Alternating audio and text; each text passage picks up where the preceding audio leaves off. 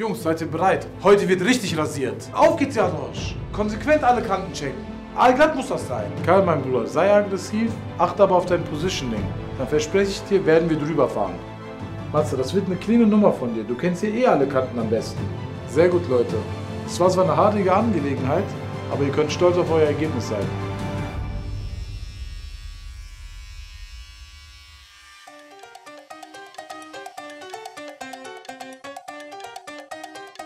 Genau so sehen Sieger aus.